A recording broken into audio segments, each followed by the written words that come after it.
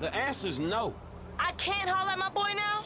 Thought you might want to know, being a high roller and all, they finally put the towing company up for sale. You know the business. Could make you some good paper.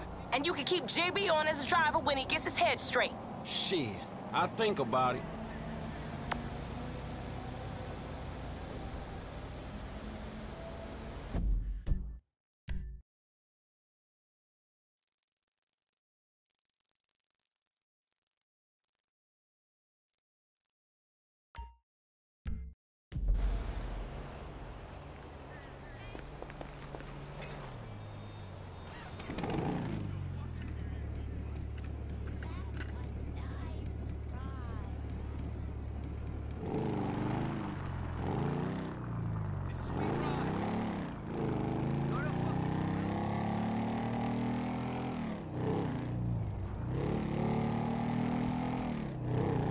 Good to see you.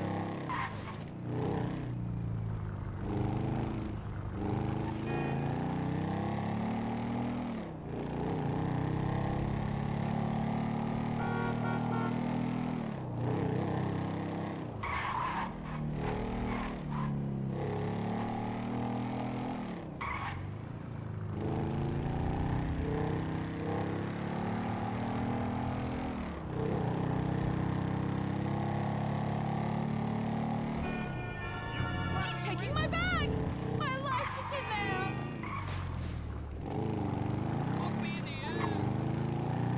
Hey, drop that now, fool! I'll put your ass down!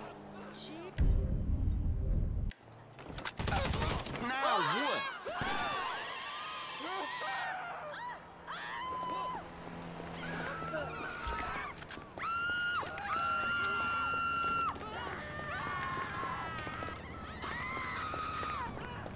Hello there.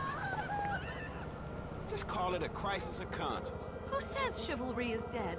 I only wish more people were like you today.